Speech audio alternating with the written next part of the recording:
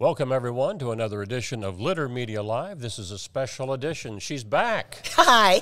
Terressa Reep. She comes. She's getting to be a regular here. but today, something different than what we talked about last week.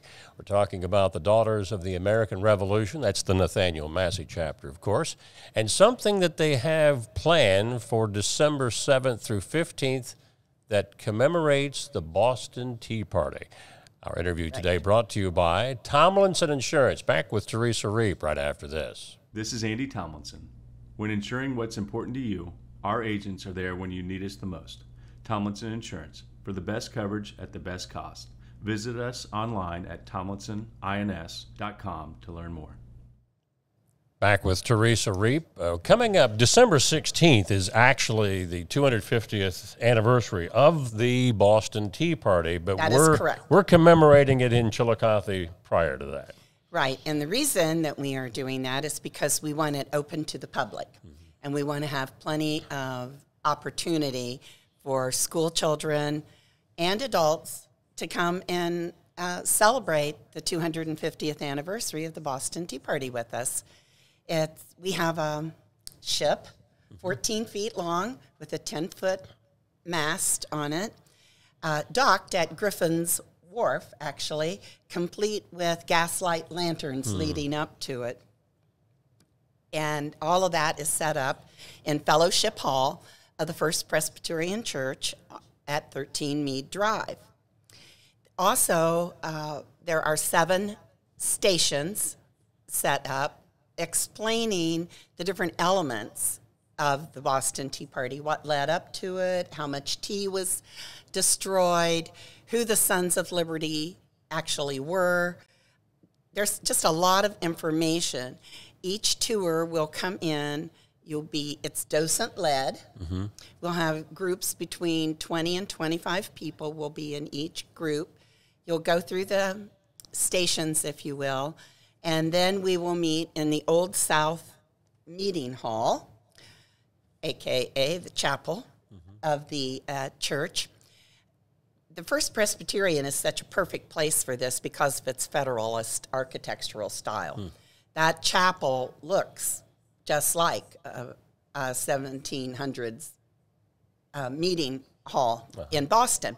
So, anyway, we'll go there for the meeting that spurred the Boston Tea Party. And from there, we'll go downstairs, actually board the ship, and toss the tea from the East India Tea Company into the water Yeah. that's been created in the church fellowship hall. Now, historically, while there was, we believe, there was no shots fired, this was actually the first act of violence that leads to the revolution. Absolutely. It there was no intent for anyone to get hurt or for property other than the tea to be destroyed. It was an act not against the shipping people or the people that owned the ships or the crew that was on the ship. It was an act against the British government.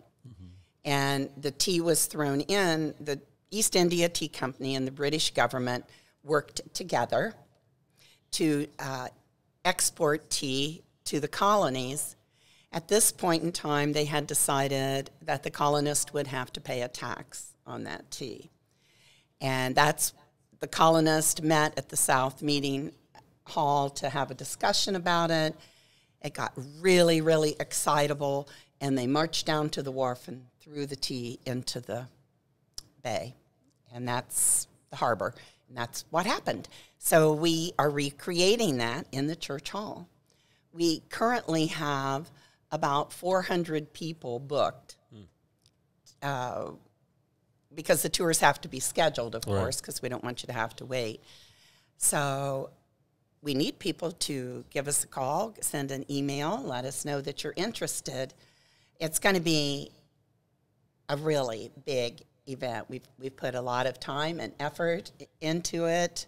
Uh, I do want to thank the David Meade Massie Fund. They provided funding for us to buy the materials for this ship and an authentic cannon that we had built. So it's been, again, a community effort. Uh, it'll be something that I think everybody will want to see. You'll learn a lot about the real facts about the Boston Tea Party. For instance, and nobody dressed up like Indians and went whooping onto the ship. They actually wrapped woolen blankets around them and stopped at the blacksmith shop and sooted their faces and hands. Oh, okay. Uh, of course, no one wanted to be recognized because it would it was considered treason, and the penalty would have been death. So for the local observance, which again this is December seventh through fifteenth, what time each day, and and how do they get in as far as being registered to attend? Okay, the time nine thirty to two thirty. Each of those days, there will be docents present, but we also will schedule special times. Like if, if you have an organization that wants to come and they can only come in the evening, hmm. we have about 10 to 12 docents that have been trained as to how to guide the tours. And so we have a lot of flexibility. And there is a, uh craft bazaar on that Saturday. I believe that's the 9th. So the ship, everything will be set up there at the craft bazaar as well. And of course, it's all free. None of, there's no charge. So because of the time frame, nine thirty in the morning till two 30, 30 3 in the o'clock, afternoon? yeah. this is something that if they get registered, that maybe even kids from schools could yes, come in. in fact, we have several school field trips that have already been. We have three days that are completely full with school field trips. It's it's going to be an excellent hands-on learning experience for the children at all ages. The the facts are the facts, and the way they're delivered depends upon the age of the audience. Mm-hmm. How do they register? The best way is to just drop an email to me. By now, everybody on your show probably knows my email. It's reap Teresa at yahoo.com. And of course, it's spelled a little differently R E E P T E R R E S S A at yahoo.com. And then we will get that scheduled for you. And this is the Boston Tea Party is a really special event with Chillicothe ties mm-hmm. as well. Most people in Chillicothe ha- are familiar with the Willis James bed and breakfast. Well, the the Willis part of that was Nathaniel Willis, who was a participant at the Boston Tea Party in uh, in Boston in 1773. He and his brother and his father, and those are documented that they were there. There are uh, 116 proven documented participants, although there were many more, but because of the fear of being charged with treason, a lot of the names never ever became public. Which treason is punishable by death. Yes, that's correct. Yeah. Now, when Willis uh, came here, he's the one that uh, you told me it was a, a land grant that was Well, given. he came here to start a newspaper. okay. He actually he had a print shop. He didn't work with Ben Franklin, but it was located in the same building that Ben Franklin's was in Philadelphia. And he had a newspaper there. And then, I hope I get this right, he moved to Virginia and then across from, oh, he moved to Maryland first. I'm sorry, Maryland, Virginia, and then to Ohio. And he started the Scioto Gazette here. So he started a newspaper, and then he became um, a farm owner uh, out off of Route 21 near, or 41, I'm sorry, near Bainbridge. And um, that's where his grave is, is on that farm somewhere. We don't know the exact location of the grave, but Was there an inn? there was. Or a tavern a or something like that? Yeah. He had a tavern out there. He was quite the entrepreneur. Mm-hmm. He had all kinds of businesses and lots of printing. And so he was very. He was a very wealthy, successful man. He died in 1831 out near Bainbridge. Of course, the story that's being portrayed here is about the Tea Party, but will there be a certain segment about him? Absolutely. Yes, one of our stations is about Nathaniel Willis. And his descendants still live in this area up around Mount Sterling, Washington Courthouse in that area. His fifth great grandson. Wow.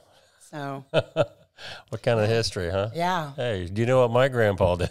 yeah, not too many people can say that they That's- participated in that. That's exactly right. Yeah. So it's it's going to be a real opportunity to learn accurate history that is it's all researched and certified and I think it's going to be a really fun experience for everybody. I think adults will enjoy throwing the tea off as much as children. yeah.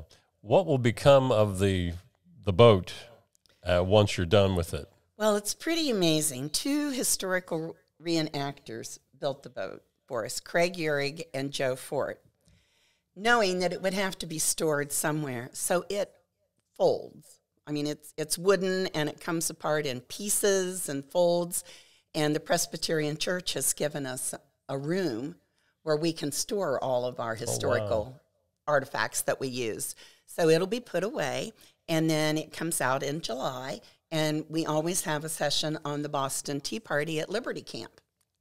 I had a feeling. Yes, so it'll be right It out there going in to July. reappear, yeah. Yes. Yeah, absolutely. So it's this year. The first year it was just the hull of the ship, but uh, last spring, the gentleman built the mast, Mm-hmm. and they are uh, both very, very serious historical reenactors. yeah. And I mean, they paid attention to detail on this thing. It's it's pretty amazing. Um, another connection that we're going to have, the big celebration in Boston is going to be on the 16th, and they anticipate hundreds of thousands of people will be in Boston for this. The Boston Tea Party Ships and Museum will be orchestrating a reenactment and our own um, Drew Musser from the Willis James is actually going to be participating Oh, wow. as a reenactor in Boston. He'll be there along with Joe Ford, one of our reenactors that we work with a lot with DAR, and three of his other men from his militia battalion. So we're going to be really well represented from this area, the Nathaniel Massie chapter, and our local area, Ross County, will be in Boston reenacting, and they even have to go up a week ahead uh-huh. for a rehearsal. So this, to to be in this has um, they are required to make at least two trips to Boston in the early weeks of December. So we're pretty excited about this. Again, that's uh, December 7th through the 15th, the Nathaniel Massie chapter of the Daughters of the American Revolution, a local um, reenactment of the Boston Tea Party. But before we let you go, since Yes. we've got you here, let's pause on the Tea Party for a moment because you have Wreaths Across America on the 16th. We do. December's a busy month. Wreaths Across America was begun many years ago with one man that had extra wreaths after he had a commercial business and he decided well he would just put them on veterans graves well that has morphed into a project of over 2 million wreaths being put on gra- graves throughout the united states. Here locally the nathaniel massie chapter of the dar sponsors wreaths across america. We will be placing 1200 wreaths on veterans graves. The ceremony will be at noon on December 16th at Grandview, no, at Green Lawn Cemetery on Eastern Avenue at Patriot Square. We will begin there with a short ceremony, and then we will begin laying the wreaths there. We put wreaths there and at other local cemeteries. The um, Eastern Star here does Patriot Square in Grandview Cemetery. But if you have a veteran in your family that you would like to just pick up a wreath and take it to ev- wherever you they're buried, like I take wreaths to Brown's Chapel out on uh, Brown's Chapel Road. Then a lot of people come and pick their wreaths up and take it to their veterans' graves. Doesn't have to be Revolutionary War veteran. Any veteran can have um, a Wreaths Across America wreath. The wreaths are $17 a piece.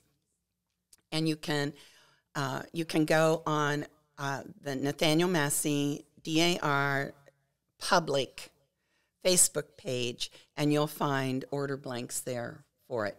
Or you can go to the Wreaths Across America website and there's a link there where you can order. And then the order will come to us and then you can pick them up down at Green Lawn. Is there a deadline to get ordered?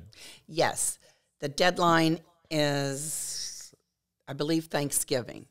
Yeah, by Thanksgiving, they have to be ordered. Gotcha. So time's short on that. Right, and if you have my email address, shoot me a note and I'll make sure it gets to the right people.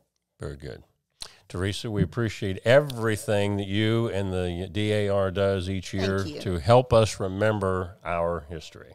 Thank you.